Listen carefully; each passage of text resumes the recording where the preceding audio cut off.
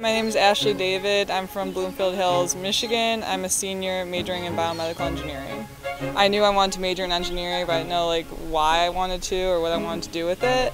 And I think being here the last three years, I've kind of found out like what I love to do in engineering, what I'm really passionate about. And uh, I think through the help of like a lot of teachers, uh, especially the College of Engineering, I've had that chance to explore different areas of interest and see what I really enjoy doing. I wanted to do something that could kind of combine math and science with like the human body and like um, just something that would combine the two. And I've I've really found that I really maybe like the math and science a little more than I thought. So now I'm kind of getting into um, like chemical engineering. FSU really gave me a great opportunity to get into that type of environment, and I don't think I would have had that at a lot of other schools. So I'm super thankful for that. I think especially like a lot of people coming from out of state. Um, are hesitant to come to places like FSU, especially like me being from Michigan. I didn't know anyone here, and it was so easy to make friends. Like everyone's super welcoming, especially like like I literally did not know one person when I came here, and now I have like a bunch of really great friends. I'm definitely gonna